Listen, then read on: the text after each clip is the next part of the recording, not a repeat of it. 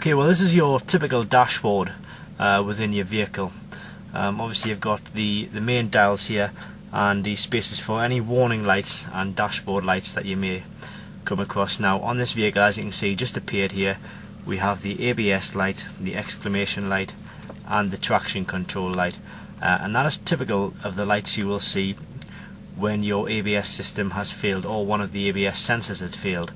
Um, it basically gives you all of the information uh, to tell you that the, there are codes present and that you need to check it out with a diagnostic code reader um, so that the faults can be uh, repaired and cleared. Now what we would advise you to do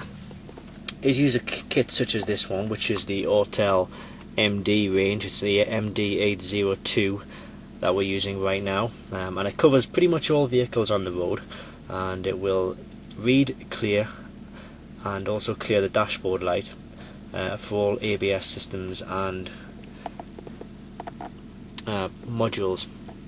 Now it's a very good tool, as I say it covers most uh, cars on the road today um, but it's vitally important that you get that ABS system back up and running now uh, because it will fail a UK MOT unfortunately now if any of these lights are showing on your dashboard. Uh, so you can click the link directly below this video um, to find the Autel MD802 on the website.